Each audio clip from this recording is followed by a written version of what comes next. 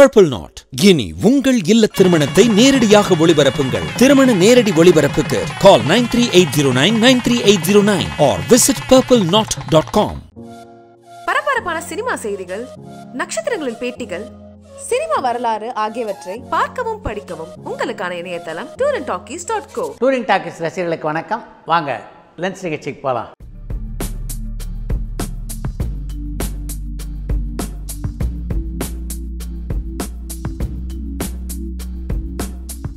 என்னம்மா முதல் கேள்வி? ஸோ ஃபர்ஸ்ட் கொஸ்டின் கனடால இருந்து திலக் கேட்டிருக்காங்க. தமிழ் சினிமால வெள்ளையா இருக்கிறவங்க தான் ஹீரோவா நடிக்க முடியும் அப்படிங்கறத தகர் தெரிஞ்சவர் சூப்பர் ஸ்டார் ரஜினிகாந்த் நினைக்கிறேன். இந்தியா லெவல்ல ரஜினிக்கு முன்னாடி வேற ஏதாவது கருப்பான ஹீரோ இருந்திருக்காங்களா? கருப்பாக இருக்கவங்க கதாநாயகனாக முடியாது அப்படின்றத மட்டுமா ரஜினிகாந்த் நிரூபித்தார் கருப்பாக இருந்தாலும் இந்த சினிமாவில் உச்சத்தையும் தொடலாம் அப்படின்றதை நிரூபித்தவர் தான் சூப்பர் ஸ்டார் ரஜினிகாந்த். அவருக்கு முன்னாடி கருப்பாக இருந்தவங்க யாரும் இந்த அளவு சாதனையை புரிந்ததில்லை என்று தான் சொல்ல வேண்டும். Sir directors Agathiyan B Lenin Bala Vetrimaaran. இவங்க நாலு பேர் மட்டும்தான் டைரக்ஷனுக்கான நேஷனல் அவார்டு வாங்கியிருக்காங்க.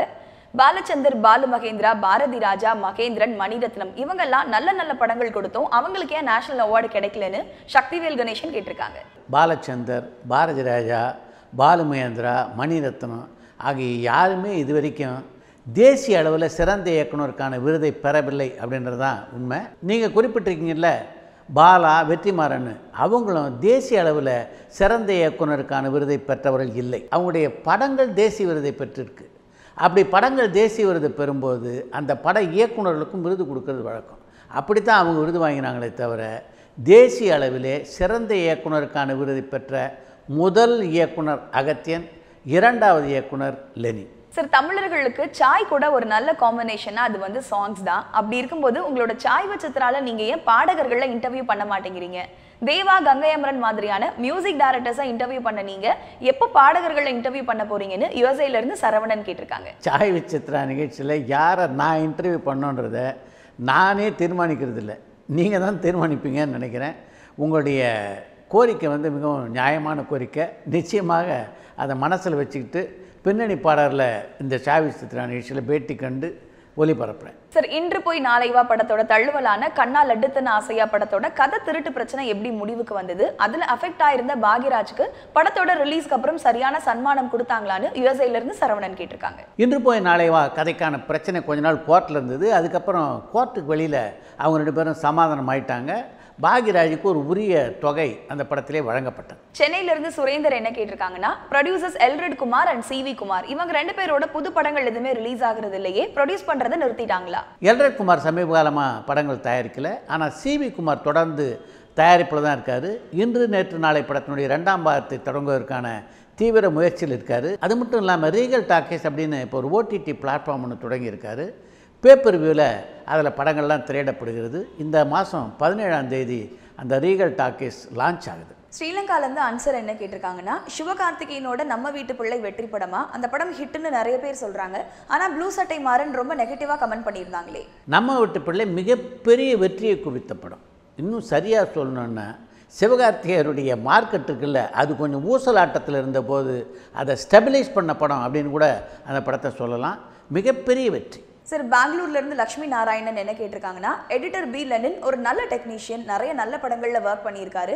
அப்படி இருந்தும் ஏன் அவர் டாக்குமெண்ட்ரி ஷார்ட் ஃபிலிம்ஸ் அது மாதிரி எடுக்க ஆரம்பிச்சிட்டாரு? அவரை நாங்கள் சாய்வு சித்ரால எதிர்பார்க்கலாமா? சாதாரண சினிமா கலைஞர்கள் வரிசையில் லெனினை சேர்க்க முடியாது. அவர் ஒரு வித்தியாசமான மனிதர். அவருடைய செய்கை அவருடைய வேலை எல்லாமே வித்தியாசமாக இருக்கும். பரபரப்பாக பல முன்னணி கதாநாயகர்கள் பல முன்னணி இயக்குநர்கள் படங்களில் வேலை செஞ்சுட்டு இருந்தபோது தான் அந்த படங்களை விட்டுலாம் விலகினார் லெனின். தொடர்ந்து இது போன்ற கமர்ஷியல் படங்களை எடிட் பண்ணுறது எனக்கு பிடிக்கல அப்படின்னு தான் அந்த காலகட்டத்தில் இந்த எடிட்டிங்லேருந்து விலகினார் அவர். இப்போ சில படங்களை எடிட் பண்ணுறாரு இப்போ அவருடைய கவனமெல்லாம் ஷார்ட் ஃபிலிம் டாக்குமெண்ட்ரி படங்கள் அப்படின்னு இருந்தாலும் நல்ல தரமான இயக்குனர்கள் தரமான கதையமைப்பு கொண்ட படம் அப்படின்னா அந்த படத்தை எடிட் பண்ணுறதுக்கு லெனின் தயங்குறதில்லை. சார் பாலச்சந்தரோட கல்கி ஒரு வெற்றி படமா? தூற்றுவோர் தூற்றட்டும் கல்கிக்கு ஜே இது மகேசனின் தீர்ப்பு அப்படின்னு படத்துக்கு விளம்பரம் பண்ணியிருந்தாங்களே அதுக்கு என்ன காரணம்னு இலங்கையில இருந்து பிரியதர்ஷன் கேட்டிருக்காங்க. பாலச்சந்தருடைய கல்கி மிகப்பெரிய வெற்றி படம். அப்படி ஒரு விளம்பரத்தை கொடுக்கறதுக்கு காரணமாக இருந்தது முதல்ல அந்த படத்துக்கு எழுந்த சில விமர்சனங்கள். அதன் காரணமாக தான் அப்படி ஒரு விளம்பரம் வெளிவந்தது. சார் மதுரையில இருந்து அர்ஜுன் என்ன கேட்டிருக்காங்கன்னா சில நடிகர்களோட மேனேஜர்ஸ் வந்து படம் ப்ரொடியூஸ் பண்றாங்க அப்படின்னா அவங்களோட சம்பளம் எவ்வளோ மேனேஜர்ஸோட வேலை என்ன? நீங்கள் கேட்குற கேள்வியினுடைய அர்த்தம் எனக்கு புரியுது. அவர் அந்த அளவாக சம்பளம் வாங்குறாரு படம் எடுக்கிற அளவுக்குன்ட்டு. நடிகருடைய மேனேஜர் சம்பளம்லாம் மிகப்பெரிய சம்பளம் கிடையாது. பல படங்களில் அவங்க மேனேஜர்கள் என்ன வாங்குறாங்கன்னா அந்த நடிகையில் என்ன சம்பளம் வாங்குறாங்களோ நடிகர்கள் என்ன சம்பளம் வாங்குறாங்களோ அதில் ஒரு ஐந்து அல்லது பத்து சதவீத ஊதியத்தை கூட அவங்க பெற்றுக்கொள்கிறார்கள். அவங்க படம் எடுக்கிறாங்கன்னா அந்த நடிகர் நடிகருடைய சப்போர்ட்டோட தான் அது முடியும். சில கதாநாயக நடிகர்களும் நடிகைகளும் தங்களுடைய மேனேஜரில் தயாரிப்பாளராக உசத்தி பார்க்கணுன்னு ஆசைப்படுறதுண்டு. அதன் காரணமாக அவங்கள வந்து முன்னிறுத்தி சில படங்களை தயாரிப்பாங்க. அதில் இவங்களே கூட நடித்து கொடுப்பாங்க. அப்படி தயாரிப்பாளரான மேனேஜர்கள் தான் அதிகமே தவிர நடிகர் நடிகிட்ட மேனேஜராக வேலை செஞ்சு சம்பளம் வாங்கி அந்த சம்பள பணத்தில் படம் எடுக்கிறதுன்றது சாத்தியமே இல்லை. சார் பழைய படமான கதாநாயகன் படத்துல ஃப்ரேமுக்கு ஃப்ரேம் காமெடி இருக்கும். அதுக்கு முக்கியமான காரணம் படத்தோட டயலாக் ரைட்டர் கிரேசி மோகன் சார் அது மட்டும் இல்லாம படத்துல நடிச்சிருந்த Pandiarajan and S V Shekhar ரெண்டு பேருமே வந்து காமெடி டயலாக் ரைட்டர்ஸ் தான். அதனால தான் படம் அவ்வளோ சிரிப்பா இருந்தது அப்படின்னு நான் நினைக்கிறேன். இதை பத்தி உங்களோட பார்வை என்ன? அண்ட் படம் வெற்றி படமானு ஈரோட்ல இருந்து கவாஸ்கர் கேட்டிருக்காங்க. அந்த படம் மிகப்பெரிய வெற்றி படம். அந்த படம் வெற்றி படம் அமைஞ்சதுக்கு கிரேசி மோகன் எஸ் வி சேகர் பாண்டியராஜன் எந்த அளவுக்கு முக்கியமோ அந்த அளவுக்கு அந்த படத்தினுடைய கதை களம் முக்கியம். அது நாடோடி காற்று அப்படின்ற மலையாள படத்தினுடைய தமிழாக்கம் தான். மலையாளத்துலேயே அந்த படம் அவ்வளோ இன்ட்ரெஸ்டிங்காக இருக்கும். அந்த படம் இப்போ எடுத்தால் கூட ரசிக்கக்கூடிய ஒரு படம். நான் கூட அந்த படத்தை திரும்ப ரீமேக் பண்ணலாம் அப்படின்ற ஐடியாவில் அந்த படத்தினுடைய தயாரிப்பாளர்கிட்ட கேட்டேன். அப்போ அவங்களே அதை ரீமேக் பண்ணுற ஐடியா இருக்கிறதா என்கிட்ட சொன்னாங்க. அதன் காரணமாக தான் நான் இப்போ ரீமேக் பண்ணலை. சார் சென்னையில இருந்து அர்ஜுன் என்ன கேட்டிருக்காங்கன்னா கார்த்திகோட உன்னை சொல்லி குற்றமில்லை படத்தோட கிளைமேக்ஸ்ல பாம்புக்கு நடுவுல ஃபைட் சீன் வச்சிருப்பாங்க. அது உண்மையான பாம்புக்கு நடுவுல எடுக்கப்பட்ட சீனா அந்த படத்தினுடைய சண்டை காட்சியில் இடம்பெற்றிருந்த பாம்புகள்லாம் ஒரிஜினலான பாம்பு தான். அதில் எந்த சந்தேகமும் இல்லை. சார் தமிழ் சினிமாவோட முதல் வாரிசு நடிகர் இளைய திலகம் பிரபு அப்படின்றது சரியானு சென்னையில இருந்து ராம்கி கேட்டிருக்காங்க. சரியில்லை அப்படின்றது தான் உண்மை.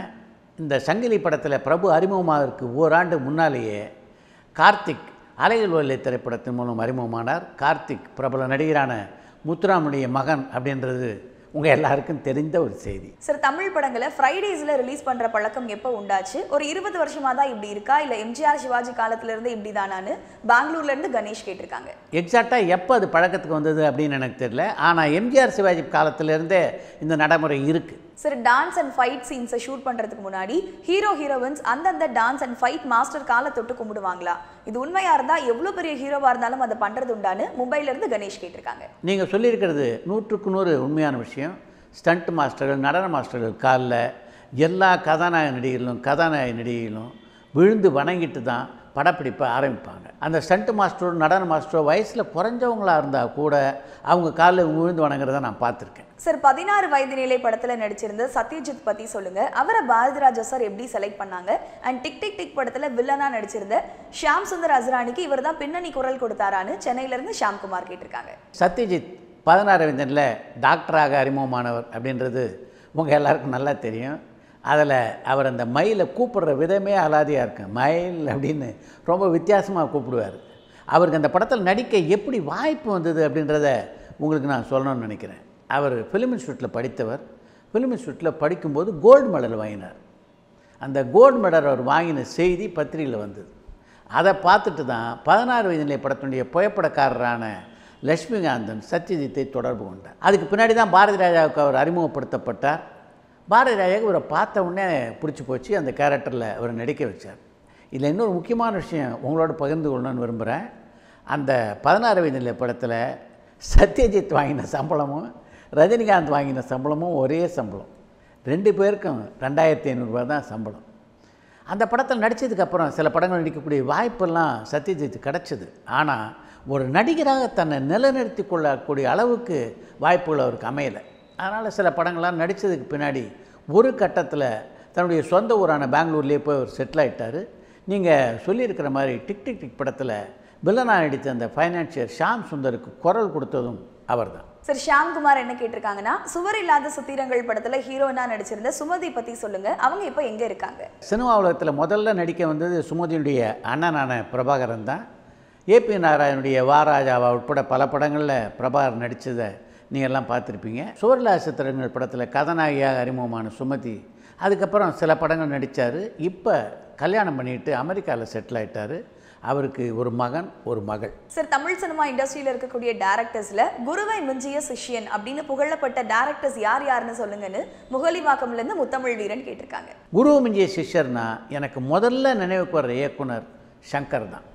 இன்றைக்கி பிரம்மாண்டமான படங்களுக்கு ஒரு அடையாளமாக இருக்கின்ற சங்கர் இயக்குனர் எஸ் ஏ சந்திரசேகர்கிட்ட உதவியாளராக இருந்தவர். சார் சிவாஜி கணேசனோட ரத்த பாசம் ஒரு வெற்றி படமானு அகரம்ல இருந்து பிரகாஷ் கேட்டிருக்காங்க. சிவாஜி கணேசன் கதாநாயகன் நடித்த ரத்த பாசம் திரைப்படம் மிகப்பெரிய வெற்றி படமாக அமையலை. சார் எம்ஜிஆரோட நவரத்தினம் அண்ட் மதுரையை மீட்ட சுந்தர பாண்டியன் இது ரெண்டுல எது வெற்றி படம்னு பிரகாஷ் கேட்டிருக்காங்க. நவரத்னம் மதுரை மீட்ட சுந்தர பாண்டியன் ரெண்டுமே தோல்வி படங்கள் தான். இதில் நவரத்னத்தை விட கொஞ்சம் பெட்டராக அமைந்த படம் மதுரை மீட்ட சுந்தர பாண்டியன் மதுரை மீட்ட சுந்தர பாண்டியன் படத்துக்கு இன்னொரு கூடுதல் சிறப்பு உண்டு.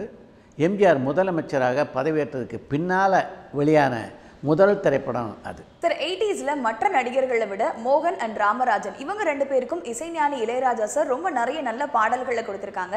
ஸோ இவங்க ரெண்டு பேரோட வெற்றிக்கு இளையராஜா சார் ஒரு பேக் போனா இருந்தாருன்னு சொல்லலாமான்னு வலசரவாக்கம்ல இருந்து கார்த்திக் கேட்டிருக்காங்க. நீங்கள் குறிப்பிட்டிருக்கிற மாதிரி மோகனும் ராமராஜன் மட்டும்தான் இளையராஜாவுடைய இசையால் வாழ்ந்தவர்களா? இளையராஜாவின் இசையால் பல கதாநாயகருடைய படங்கள் வெற்றி பெற்றிருக்கின்றன. பல கதாநாயகருடைய படங்கள் வெற்றி பெறுவதற்கு இளையராஜன் இசையே காரணமாக இருந்தது அப்படி ஒரு அந்தஸ்தில் ஒரு காலகட்டத்தில் இருந்தவர் தான் இளையராஜா. அடுத்து ஒரு குட்டி ஸ்டோரி.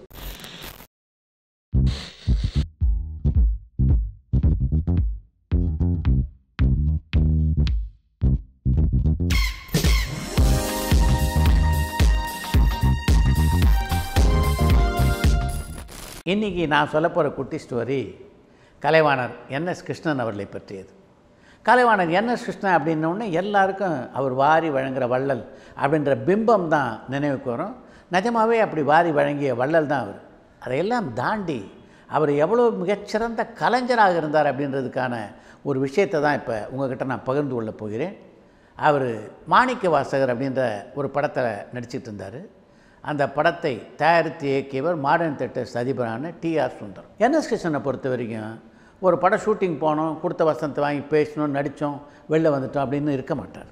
அந்த காட்சியை நாம் எப்படிலாம் இம்ப்ரூவ் பண்ணலாம் அப்படின்னு எப்போ பார்த்தாலும் யோசிச்சுட்டே இருப்பார்.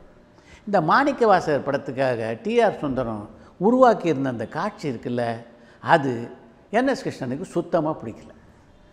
மாடர்ன் தேட்டர்ஸ் டிஆர் சுந்தரத்தை பற்றி இந்த இடத்துல சொல்லி ஆகணும். அவர் எதிர்க்க ஒரு வார்த்தை பேசுகிறதுக்கே எல்லாரும் யோசிப்பாங்க. அந்த அளவுக்கு ஒரு டஃப்பான ஒரு முதலாளியாக இருந்தவர் டிஆர் சுந்தரம்.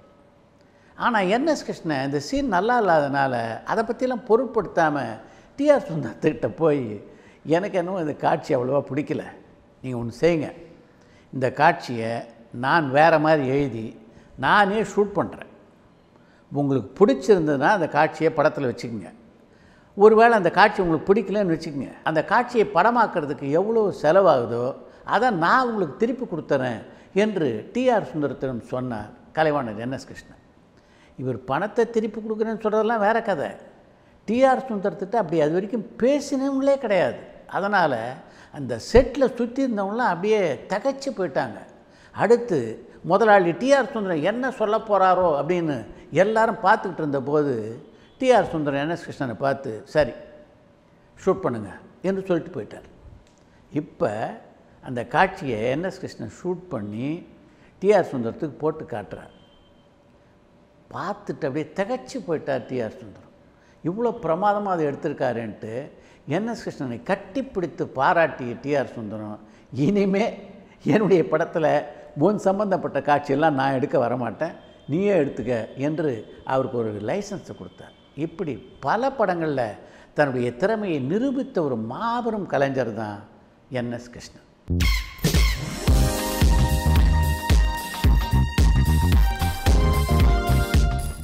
இத்துடன் இன்றைய லென்ஸ் நிகழ்ச்சி நிறைவு பெறுகிறது மீண்டும் அடுத்த லென்ஸ் நிகழ்ச்சியிலே சந்திப்போம். அன்புக்குரிய திரைப்பட தயாரிப்பாளர்களுக்கு உங்களது திரைப்படங்களை பத்திரிகைகளிலும் தொலைக்காட்சிகளிலும் விளம்பரம் செய்ய நீங்கள் அணுக வேண்டிய முகவரி யூனிவர்சல் ஆட்ஸ் தொலைபேசி எண் seven three five eight five seven six five double four அல்லது nine triple four three eight three seven double four மின்னஞ்சல் முகவரி யூவி ஆட்ஸ் அதாவது UV double A DS at Yahoo dot co dot